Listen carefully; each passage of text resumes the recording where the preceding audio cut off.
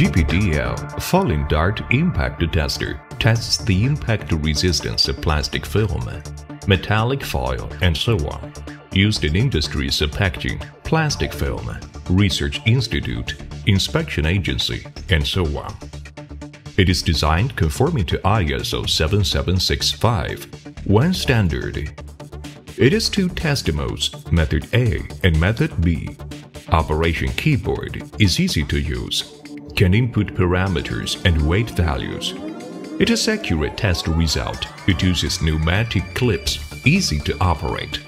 LCD screen displays test data. Report can show broken or not broken status. It processes data automatically, can print report.